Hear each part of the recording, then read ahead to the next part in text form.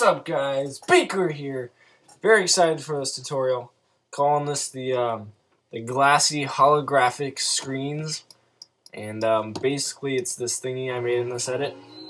So if you can see, it's a see-through, it's got some uh, RGB split, some little bit of distortion, and you can see the shine is moving, and just looks very glassy and sleek.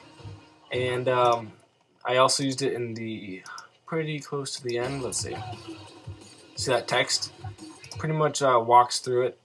And it's pretty cool because you can have like flares and other things behind and it'll still warp it as if it was, you know, actually floating there and distorting the uh, thingies behind it like some glass and stuff would.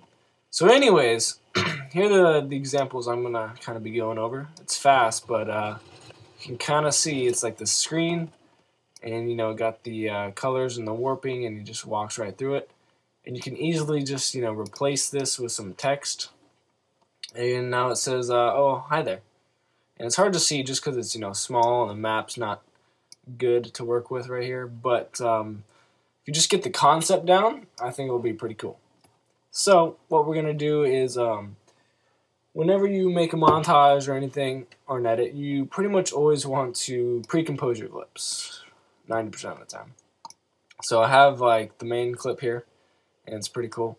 If you want to motion track a clip, I would suggest using hardcore like this because um, in Boujou you can mask out the kill feed and the gun, and that's pretty much it. You don't have to worry about the bars or the um, the HUD and all that other stuff going on. So, anyways, if you want to motion track like just this beginning, make your um, comp work area just to the part that you want to um, motion track. Okay, and then so you can just render out a short, you know, 100 frame JPEG sequence, and um, once you import the MA file, which would look like this, if I just go into that comp, come on, it's only like a second long or so, and that's cool. But I'm just going to take the camera and just uh, Command C, Control C, copy, and just paste it back into your thing as long as your um, marker is still where the timeline was, you know, still set. So nothing like changed. Okay, so once you got that all settled, we'll go ahead and just make a new composition for the screen. We'll call this screen thingy. And let's go ahead and type some stuff. So, um, yo, what's, what's up, guys? Baker here. All right. So you don't have to do this either, but I always like to put some uh, some grid lines. You can do Venetian blinds or whatever other people do, but you know, I'm just so used to grid. I'll just uh, stick with that. Put on some grid, width and height sliders, width 2000, oops, 2000, and just slide that line over. Get out of here and then just lower the opacity of the grid, maybe like 25%, kind of subtle. And we're going to make a new solid for the background behind this because this is um, just text alpha file and alpha channel in the line. So we're going to put it on the back and then fill it with a perfect neutral gray. And that's going to be 127, 127, 127. Come on. Oh no! Why am I getting this rainbow wheel? 127, 127, 127. Alright. So uh, turn that back on, we get some gray. Okay, and you'll see why we're doing that. Um, I'm also going to make one more solid. We'll make this white. And um, we're going to add a linear wipe. So this will kind of be the fake shine. So if I just set it in the middle somewhere, I can just, you know, rotate it slightly. And uh, I'll just start it, you know, somewhere over here, keyframe the completion, move forward.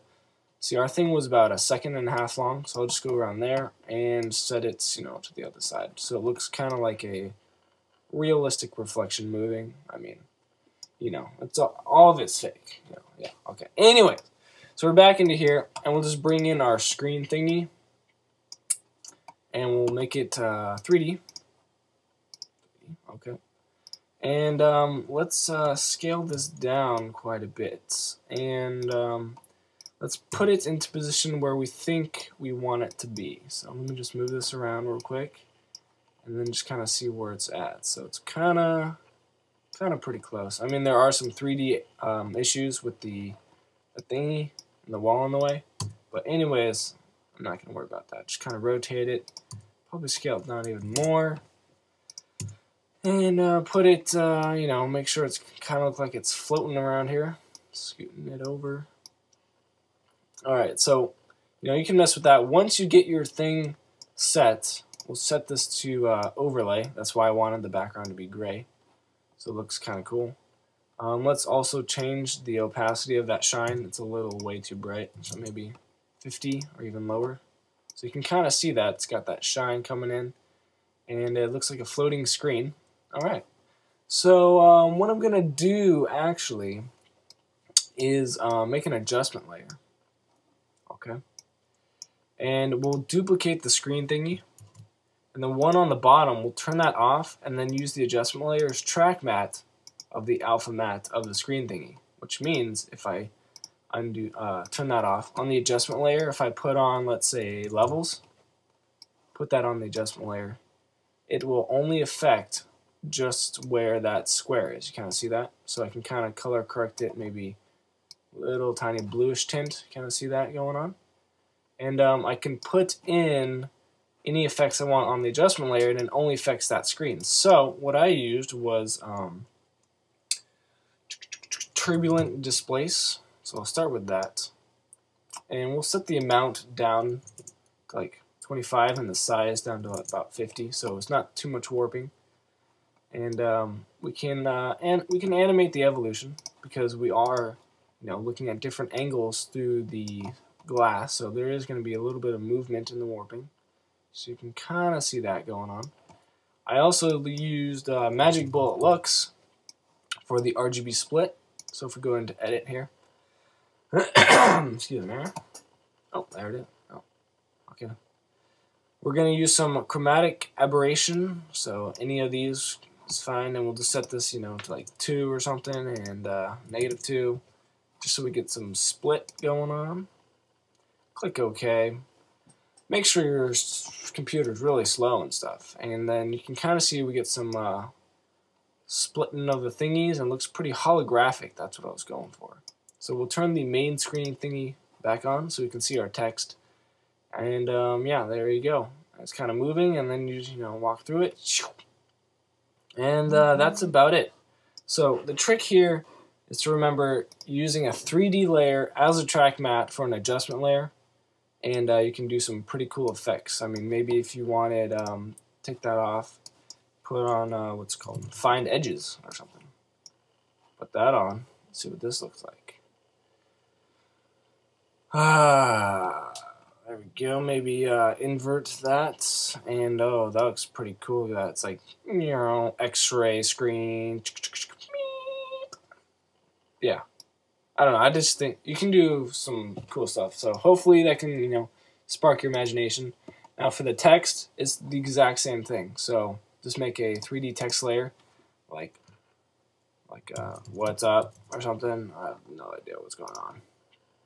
Make it 3D put it, um, I'm just going to copy the position of the screen thingy, paste it on the position of the text, and then uh, just rotate it, you know, so it's like looking at us, and uh, maybe put it down here, and then just put that above the adjustment layer with the track matte still on, and then you can see it only appears on the text, and uh, pretty cool stuff, but uh, yeah, holographic, kind of glassy text, adjustment layer, and Magic Bullet looks and track matte and stuff. So um, if you make an edit or something, go ahead and leave a video response. Um, other links in the description for you know 3D motion tracking or track matte tut if you want some more explanation on that. So go ahead and check it out. Leave a like because this is an amazing tutorial. I like this effect. Trying to be original here, and uh, yeah, comment and all that good stuff. All right, that's it. Peace.